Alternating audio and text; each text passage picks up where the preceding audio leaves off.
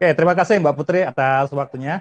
Kami dari Sinar Mas Mining akan memberikan sharing tentang bagaimana kami membangun organisasi yang resilience, ya, yang tangguh dalam menghadapi berbagai kondisi bisnis dan juga secara bersamaan membangun leaders yang akan memimpin perusahaan-perusahaan kami yang sekarang dan juga di masa mendatang. Baik, kami mulai dengan uh, introduce pengenalan tentang perusahaan kami. Perusahaan kami uh, ada dibangun oleh generasi ketiga dari founder Sinarmas, didirikan pada tahun 2006.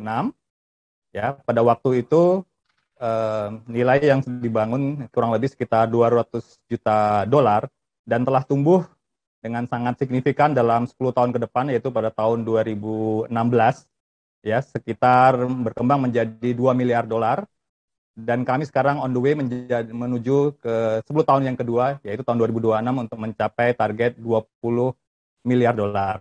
Jadi kalau kita lihat di sini growth-nya sangat eksponensial ya, dalam 20 tahun, in total kami tumbuh sebesar 100 kali. Operasional kami eh, tersebar, eh, selain regional ada di Indonesia dan negara ASEAN, dan juga kami beroperasi di Australia, dan juga kami beroperasi di Afrika. Kami sebagai corporation memanage sekitar 100 perusahaan, 40 ribu company, dan beberapa lokasi baik di uh, Indonesia, di domestik, dan uh, internasional. Oke, saya akan jelaskan sedikit tentang pilar bisnis uh, Sinaros Mining. Di sebelah kanan atas kita bisa lihat ada tiga pilar. Pilar pertama yang paling kiri itu adalah pilar tentang energi. Ya. Jadi bisnis kami yang utama saat ini adalah energi, di mana kami merupakan produsen terbesar batu bara di Indonesia. Di samping itu juga kami memiliki tambang-tambang mineral lainnya, termasuk juga kami masuk ke bisnis energi terbarukan, solar panel, dan yang lagi hangat ya sekarang untuk uh, electric vehicle, untuk battery dan juga uh, logistik.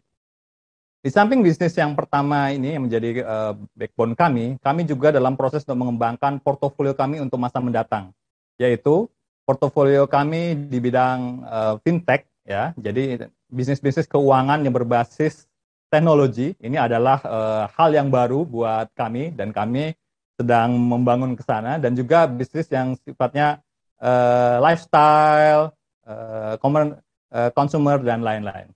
Konsekuensi dari ini semua kami membutuhkan leaders yang signifikan yang sangat banyak. Jadi kalau kita lihat in total di tahun 2026 kami akan membutuhkan sekitar 300 CXO ya. Jadi 300 top leaders untuk uh, membangun uh, perusahaan kami. Oke, bagaimana memanage kompleksitas yang ada di grup perusahaan kami? Untuk memanage bisnis yang cyclical, karena kami juga ada di bisnis komoditi, kami harus menciptakan suatu organisasi yang fleksibel, yang resilient menghadapi berbagai kondisi, termasuk juga kondisi pandemik di tahun yang lalu. Kami memastikan bahwa organisasi kami bisa adaptif ya dalam kondisi apa pun juga, sehingga kami coba atur fungsi-fungsi utama itu ada di sentral ya di sentral sehingga kita mempunyai pool of talent, pool of uh, expertise yang bisa menserve bisnis-bisnis yang ada di sekitar atau di teritorial. Sehingga dengan kondisi seperti ini kita bisa mengatur untuk bisnis-bisnis yang sifatnya startup mendapatkan support dari uh, dalam bentuk variabel sehingga dia bisa memanage cost-nya dengan kompetitif di tahap-tahap awal dari bisnisnya.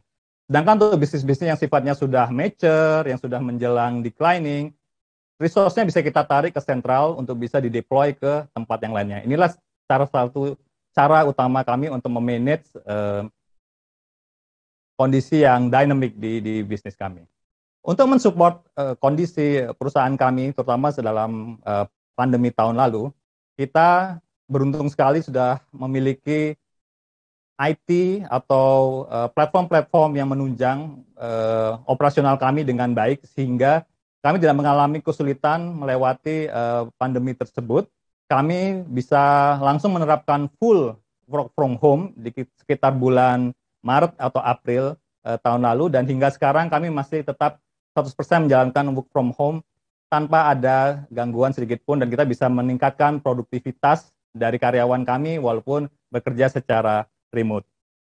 Ini adalah uh, skema kami untuk membangun future leaders di tempat kami. Bagaimana kami mencoba membangun 300 atau menciptakan 300 leaders dalam beberapa tahun ke depan untuk mensupport growth bisnis kami yang eksponensial. Ya, kami kombinasikan bagaimana mencari talent dengan tiga syarat utama yaitu winning spirit ya. Jadi harus memiliki semangat untuk selalu menang dalam uh, aktivitasnya. Selalu bisa bounce back setiap kali jatuh bisa naik lagi, jatuh dan naik lagi dan terakhir rigorous. Dan kami kombinasikan dengan uh, aktivitas super job ya, business rotation dan juga diekspor terhadap bisnis-bisnis yang baru.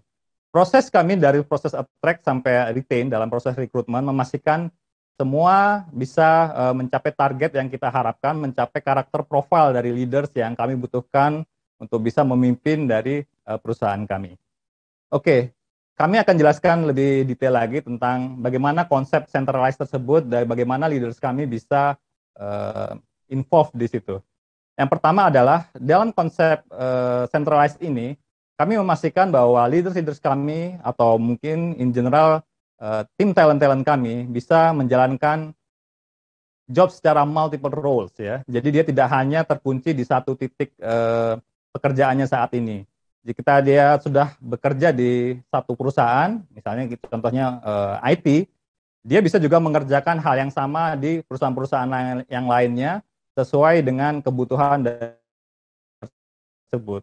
Selain itu juga kami mengimplementasikan konsep round robin. Ya, jadi round robin itu bahasa yang kami dapatkan dari aktivitas burung ya, burung robin. Bagaimana mereka bisa memfeeding uh, keluarganya atau kami juga sama bagaimana orang-orang talent-talent kami itu bisa bekerja untuk serve seluruh uh, business unit secara paralel maupun secara serial ya. Jadi jadi kami bisa mengoptimalkan seluruh uh, potensi yang kami miliki atau potensi dari leaders atau uh, talent yang kami miliki untuk bisa memfulfill seluruh kebutuhan bisnis tanpa perlu merekrut terlalu banyak orang ya. Jadi dengan existing uh, talent atau existing manpower yang kita miliki kita bisa men-serve klien atau men-serve business unit yang jauh lebih banyak lagi.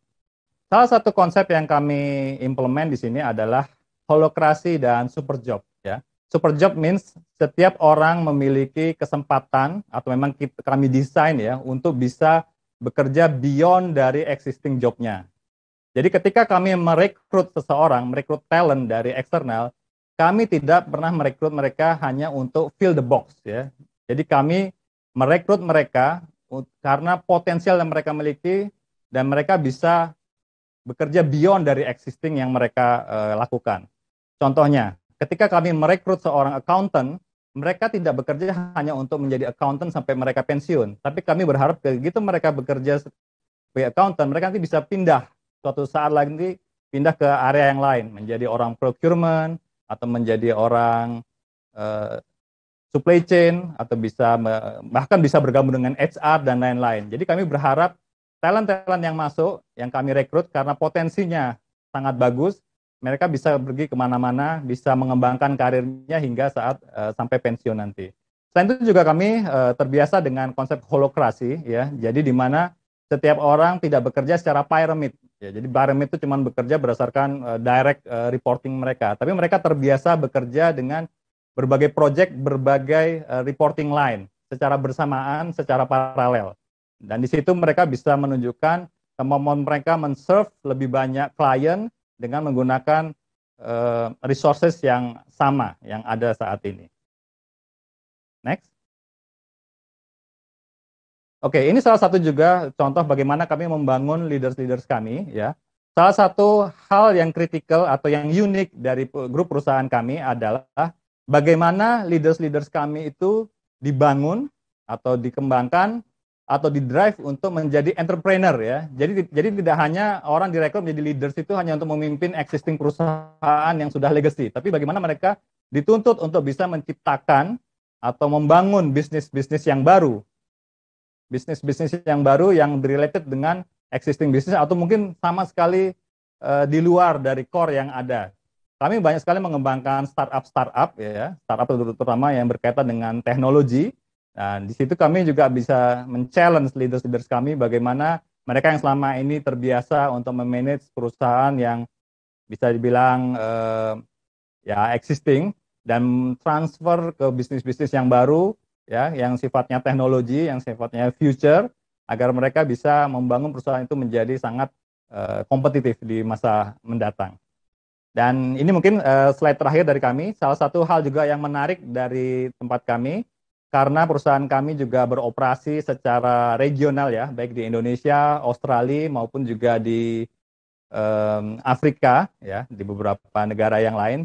Jadi ada kesempatan kepada para talent kami untuk mengikuti program Global Talent uh, Mobility. Ya. Jadi bagaimana talent-talent kami tersebut bisa bekerja di kantor-kantor kami yang ada di cabang di luar negeri, menggali pengalaman di sana, best practice yang ada di sana seperti apa, mengembangkan karir mereka di sana, sehingga pada suatu saat nanti, ketika mereka pulang ke Indonesia, mereka bisa uh, bisa berkembang dengan lebih baik lagi, bisa membangun perusahaan yang ada di Indonesia. Dan juga ini memberikan kesempatan juga kepada talent-talent yang ada di luar negeri ya, di kantor kami juga untuk exchange kepada kami di Indonesia sehingga mereka juga bisa belajar tentang budaya perusahaan di Indonesia dan juga bisa uh, kembali ke sana untuk mengimplementasikan sehingga tercipta suatu uh, kom, apa ya, integrasi yang bagus ya antara perusahaan di Indonesia dan di luar negeri. Baik, demikian mungkin paparan dari kami Sinar Mas uh, Mining pada seluruh eh, rekan-rekan uh, semua. Semoga bisa memberikan insight yang positif ya dan mungkin bisa diimplementasikan juga di perusahaan eh, masing-masing. Uh,